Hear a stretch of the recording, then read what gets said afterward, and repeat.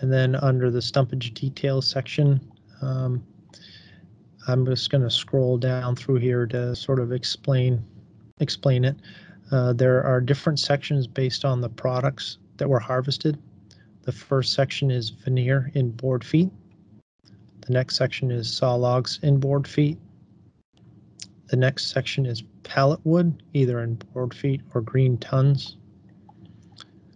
After that is studwood in cords and studwood in green tons. Boltwood in board feet. Pulpwood in green tons and pulpwood in thousand pounds. Firewood in cords. Biomass in thousand pounds or biomass in green tons, as well as specialty products. And these are um, in either board feet, cords, thousand pounds, or green tons. And so those are the different sections of the stumpage information or stumpage details of the landowner report.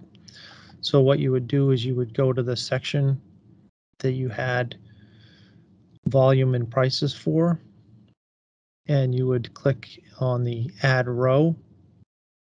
So we're going to start out by saying we did have some saw logs in board feet, and we'll click add row. And this will present us with a place to record the species, the volume in board feet,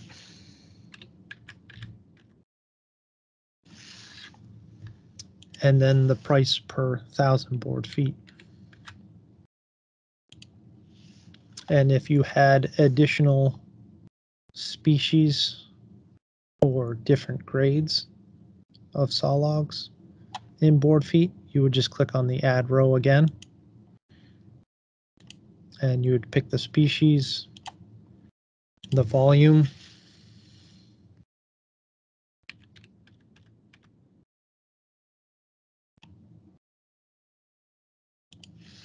and then the price.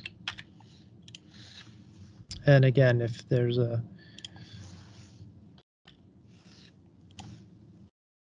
if you want to either correct or remove a line, you would just click on the trash can button here to remove them.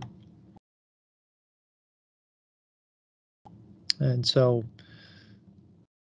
it's not necessary in the locations where there are different uni units for the same product, like pallet wood in board feet and pallet wood in green tons. Uh, you only need to report your information in one of those lines depending on the units you have.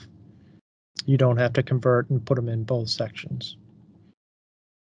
Uh, same with studwood and pulpwood and biomass you would just enter it in one location. So for biomass, you'd pick the volume in green tons and the price. And again, you can remove them if you need them by clicking on the trash can button here.